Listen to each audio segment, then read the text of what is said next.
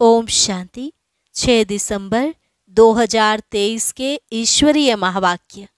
पहले सुनते हैं मुरली के मुख्य पॉइंट्स बाबा ने कहा, तुम बच्चों पर फिर से माया का परछाया पड़ गया है। इसलिए मैं तुमको सच्ची गीता सुनाकर, अर्थात राजयोग सिखाकर, राजाओं का राजा बनाने आया हूँ। यहाँ हरेक आत्मा का पार्ट अपना अपना है। सब एक समान नहीं हो सकते।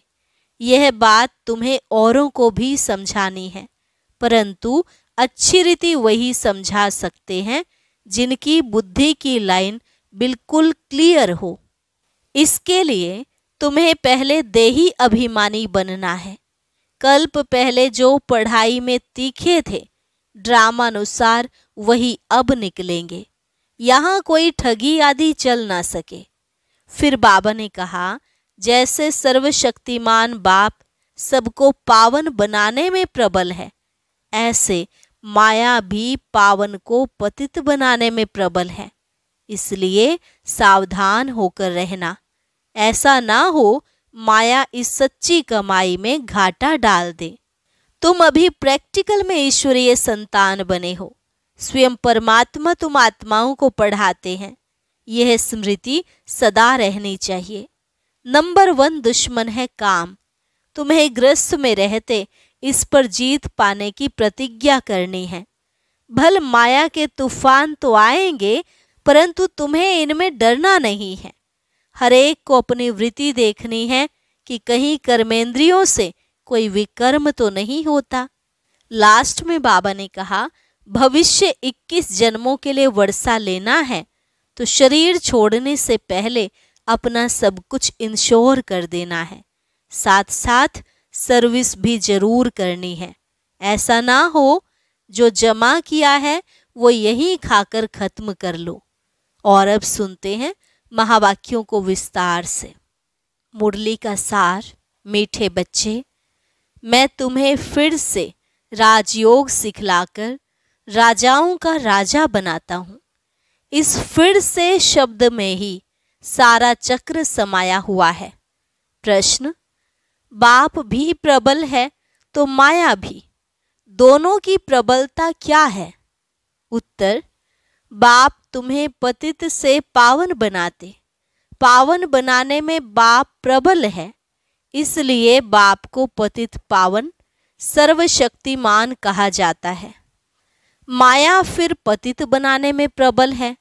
सच्ची कमाई में ग्रहचारी ऐसे बैठती है, जो फ़ायदे के बदले घाटा हो जाता है। विकारों के पीछे माया तवाई बना देती है। इसलिए बाबा कहते, बच्चे, देही अभिमानी बनने का पुरुषार्थ करो। गीत, हमें उन राहों पर चलना है, जहाँ गिरना और संभलना है। ओम शांति। तुम बच्चों को किन राहों पर चलना है? ज़रूर राह बताने वाला होगा। मनुष्य रोंग रास्ते पर चलते हैं, तब तो दुखी होते हैं। अभी कितने दुखी हैं, क्योंकि उनकी मत पर नहीं चलते। सब उल्टी मत पर चलते आए हैं। जब से उल्टी मत देने वाले रावण का राज्य शुरू हुआ है, बाप समझाते हैं, तुम इस समय रावण की मत पर हो। तब हरेक का ऐसा बुरा हाल हुआ है। सब अपने को पतित कहते भी हैं। गांधी बापूजी भी कहते थे, पतित पावन आओ। गोया हम पतित हैं। परंतु कोई भी समझ से नहीं कि हम पतित कैसे बने हैं। चाहते हैं भारत में राम राज्य हो, परंतु कौन बनाएगा? गीता में बाप ने सब बातें समझाई हैं। परंतु गीता के भगवान का ही नाम उल्टा लगा दिया है। बाप समझाते हैं, तुमने क्या कर दिया है? क्राइस्ट के बाइबल में पोप का नाम डाल दें तो कितना नुकसान हो जाए। यह भी ड्रामा है। बाप बड़े से बड़ी भूल समझाते हैं। यह आदि मध्य अंत का ज्ञान गीता में है। बाप समझाते हैं, मैं तुमको फिर से राजाओं का राजा बनाता हूँ। तुमने चौरासी जन्म कैसे लिए, यह तुम नहीं जानते हो। हम बताते हैं। यह कोई भी शास्त्र में नहीं है। शास्त्र तो अनेक हैं भिन्न भिन्न मते हैं। गीता माना गीता। जिसने गीता गाई है, उसने ही राय दी है। कहते हैं, मैं तुमको राजयोग सिखाने फिर से आया हूँ। तुम पर माया का परछाया पड़ गया है। अभी फिर से मैं आया हूँ। गीता में भी कहते हैं, हे भगवान, फिर से गीता सुनाने आओ। अर्थात फिर से गीता की नॉलेज दो। गीता में ही यह बात है कि आसुरी सृष्टि का विनाश और दैवी सृष्टि की स्थापना फिर से होती है। फिर ज़रूर कहेंगे, गुरु नानक फिर से आएगा अपने समय पर। चित्र भी दिखाते हैं। श्री कृष्ण भी फिर से वही मोर मुकुट वाला होगा। तो यह सब राज गीता में है, परंतु भगवान को बदल दिया है। हम ऐसे नहीं कहते कि गीता को नहीं मानते, परंतु उसमें जो ये उल्टा नाम मनुष्यों ने डाल दिया है, उसको बाप आ करके सीधा करके समझाते हैं। यह भी समझाते हैं हर एक आत्मा में अपना अपना पार्ट नूंधा हुआ है, सब एक समान नहीं हो सकते। जैसे मनुष्य माना मनुष्य, वैसे आत्मा माना आत्मा। परंतु हर एक आत्मा में अपना पार्ट भरा हुआ है। यह बातें समझाने वाला बड़ा बुद्धिवान चाहिए। बाप जानते हैं कौन समझा सकते हैं, कौन सर्विस में समझदार है, किसकी लाइन क्लियर है। देही अभिमानी रहते हैं। सब तो परिपूर्ण, देही अभिमानी नहीं बने हैं। यह तो अंत में रिज़ल्ट होगी। इम्तिहान के दिन जब नज़दीक होते हैं तो मालूम पड़ जाता है कौन कौन पास होंगे। टीचर्स भी समझ सकते हैं और बच्चे भी समझते हैं कि यह सबसे तीखा है। वहाँ तो ठगी आदि भी हो सकती है। यहाँ तो यह बात हो न सके। यह तो ड्रामा में नूंद है। कल्प पहले वाले ही निकलेंगे। हमें पता चलता है सर्विस की रफ्तार से इस सच्ची कमाई में घाटा और लाभ ग्रहचारी आदि आती है। चलते चलते टांग टूट पड़ती है। गंधर्वी विवाह करने बाद फिर माया एकदम तवाई बना देती है। माया भी बड़ी प्रबल है। बाबा प्रबल है पावन बनाने में। इसलिए उनको सर्वशक्तिमान पतित पावन कहा जाता है। और फिर माया प्रबल है पतित बनाने में। सतयुग में तो माया होती नहीं, वो है ही वॉइसलेस वर्ल्ड। अभी है एकदम विशेष वर्ल्ड। कितनी ज़बरदस्त प्रबलता है। चलते चलते माया एकदम नाक से पकड़ तवाई बना देती है, फारकती दिला देती है, इतनी प्रबल है। भल सर्वशक्तिमान परमपिता परमात्मा को कहते हैं, परंतु माया भी कम नहीं है। आधा कल्प उनका राज्य चलता है। यह कोई थोड़े ही जानते हैं। दिन और रात आधा आधा होता है। ब्रह्मा का दिन ब्रह्मा की रात। फिर भी सतयुग को लाखों वर्ष, कलयुग को कितने वर्ष दे देते हैं, अभी बाप समझाते हैं। तो समझ में आता है, यह तो बिल्कुल राइट है। बाप बैठ पढ़ाते हैं।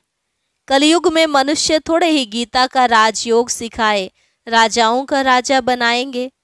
ऐसे तो कोई है नहीं जिसकी बुद्धि में हो कि हम राजयोग सीख, राजाओं का राजा बनेंगे।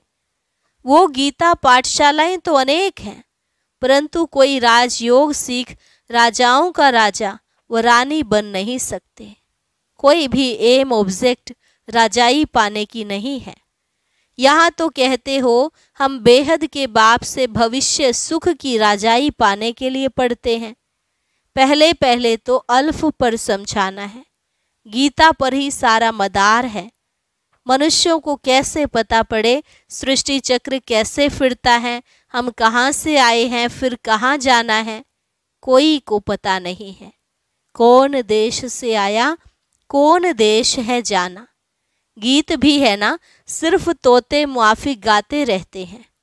बुद्धि जो आत्मा में है, वह नहीं जानती कि हम जिसको हे परम पिता परमात्मा कहते हैं वह कौन है?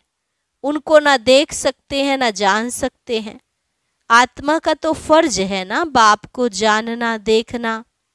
अभी तुम समझ गए हो, हम आत्मा हैं, परम पिता परमात्मा बाप हमको पढ़ाते हैं। बुद्धि कहती है, बाप आकर पढ़ाते हैं।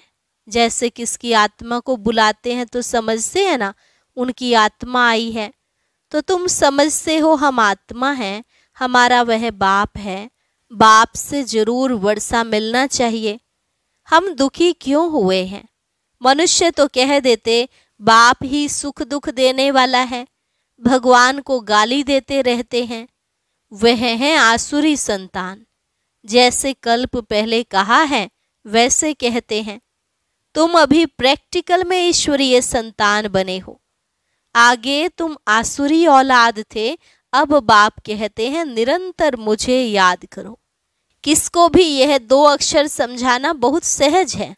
तुम भगवान के बच्चे हो। भगवान ने स्वर्ग रचा, अब नरक बना है। फिर स्वर्ग बाप ही रचेंगे। बाप हमको राजयोग सिखला रहे हैं, स्वर्ग की स्थापना कर रहे हैं। अच्छा शिव को नहीं जानते हो? प्रजापिता ब्रह्मा को भी रचने वाला वह बाप है।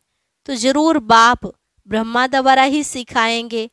अभी शुद्र वर्ण है, हम ब्राह्मण से देवता क्षत्रिय बनेंगे। नहीं तो विराट रूप क्यों बनाया है? चित्र ठीक है, परंतु समझ नहीं सकते। शूद्रों को ब्राह्मण कौन बनाएँगे? ज़रूर प्रजापिता ब्रह्मा चाहिए। उनको कैसे अडोप्ट किया? जैसे तुम कहते हो, यह मेरी स्त्री है। उनको मेरी कैसे बनाया? अडोप्ट किया। कहते हैं, मुझे भी मात पिता कहते हो, मैं बाप तो हूँ, मेरी कहाँ से लाऊं? तो इनमें प्रवेश कर इनका नाम ब्रह्मा रखता हूँ। स्त्री अडोप्ट की जाती है। जैसे लौकिक बाप स्त्री को अडोप्ट कर कुख वंशावली रचते हैं, बाबा ने फिर इनमें प्रवेश कर, इनको अडोप्ट कर, इनके मुख द्वारा मुख वंशावली बनाई है। तुम कहते हो हम ब्राह्मण ब्राह्मणियाँ हैं, ज़रूर इनका ही नाम ब्रह्मा है। ब्रह्मा किसका बच्चा? शिव बाबा का। इनको किसने अडोप्ट किया है? बेहद के बाप ने। दृष्टांत बड़ा अच्छा है, परंतु जिसकी बुद्धि में बैठा होगा, वह समझा सकेंगे। बुद्धि में नहीं होगा तो उनको समझाने आएगा ही नहीं। लौकिक और पारलौकिक बाप तो है ना? वह भी स्त्री को अडोप्ट कर मेरी कहते हैं। यह फिर इनमें प्रवेश कर अडोप्ट करते हैं। खुद कहते हैं, मुझ निराकार को इनका आधार लेना पड़ता है। तो नाम भी बदली करता हूँ। एक ही टाइम कितनों के नाम रखे। नाम की लिस्ट भी तुम्हारे पास होनी चाहिए। प्रदर्शनी में नाम की लिस्ट भी दिखानी चाहिए। बाबा ने कैसे एक ही समय नाम रखे? बाबा ने हमको अपना बनाया तो नाम बदलाया। उनको भृगु ऋषि कहते हैं। जन्म पत्री तो भगवान के पास ही है। वंडरफुल नाम है। अब सभी तो है नहीं। कोई तो आश्चर्यवत भागंती हो गए। आज हैं, कल हैं नहीं। नंबर वन दुश्मन है काम। यह काम विकार बहुत तंग करता है। उस पर जीत पानी है। ग्रस्त व्यवहार में इकट्ठे रहकर उन पर जीत पानी है। यह है प्रतिज्ञा। अपनी वृत्ति देखनी है। कर्मेंद्रियों से विकर्म नहीं करना है। तूफ़ान तो सबको आते हैं। इसमें डरना नहीं है। बाबा से बहुत बच्चे पूछते हैं, यह धंधा करे व नहीं करे। बाबा लिखते हैं, मैं कोई तुम्हारे धंधे आदि को देखने आया हूँ क्या? मैं तो टीचर हूँ, पढ़ाने के लिए। धंधे की बात हमसे क्यों पूछते हो? मैं तो राजयोग सिखाता हूँ। रुद्र यज्ञ भी गाया हुआ है श्री कृष्ण यज्ञ नहीं। बाप कहते हैं लक्ष्मी नारायण में यह सृष्टि चक्र का ज्ञान ही नहीं। अगर यह मालूम हो कि सोलह कला से फिर चौदह कला बनना है तो उसी समय ही राजाई का नशा उड़ जाए। वहाँ तो है ही सदगति। सदगति दाता तो एक है। वही आकर युक्ति बताते हैं। दूसरा कोई बतला न सके। पहले पहले यह बात उठाओ कि किसने कहा है, काम महाशत्रु है। यह भी गाते हैं विशस वर्ल्ड और वाइसलेस वर्ल्ड भारत में ही रावण को जलाते रहते हैं। सत्युग में थोड़े ही जलाएँगे। अगर यह कहते हैं कि अनादि है सत्युग में भी था। फिर तो सब जगह दुख दुख होगा। फिर स्वर्ग कैसे कहेंगे? यह बातें समझानी है। हरेक की रफ्तार अपनी है। पता लग जाता है कौन अच्छी रफ्तार वाला है। संपूर्ण तो कोई बने नहीं है। बाकी हाँ सतो रजो तमो तो होते ही हैं। बुद्धि हरेक की अलग अलग है।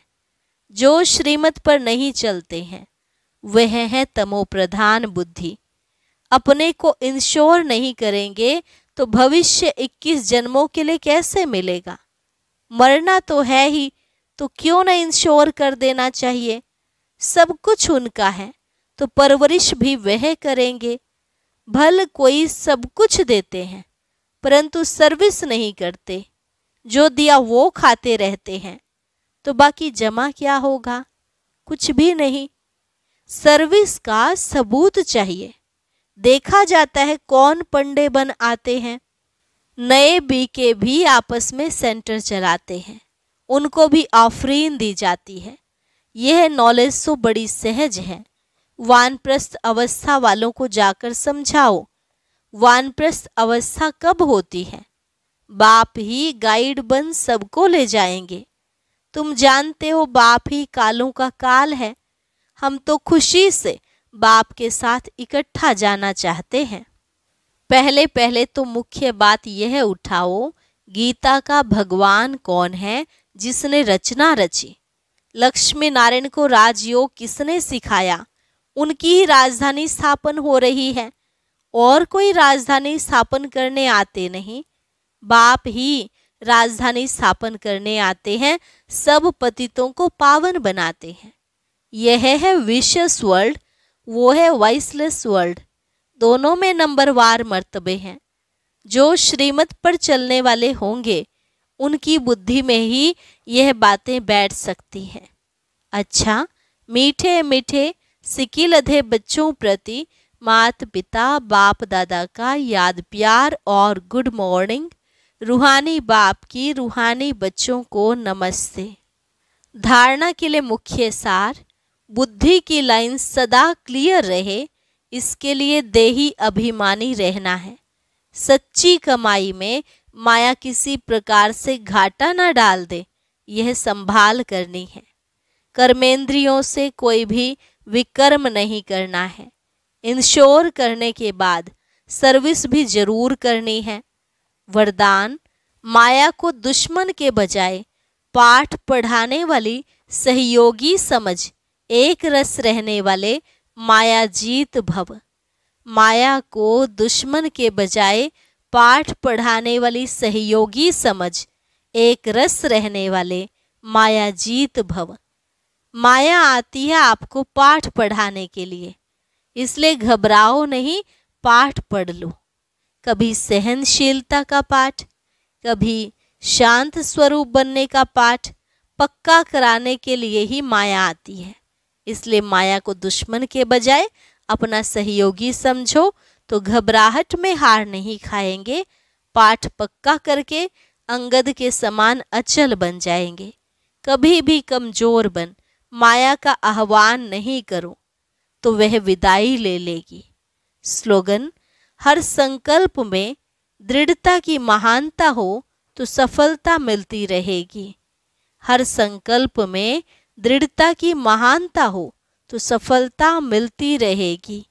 अच्छा। अब सुनते हैं आज का अव्यक्त ज्ञान मोती। ये एक बहुत संस्कारिता पूर्ण वीडियो है। ज़रूर देखें कोई भी मिस ना करे।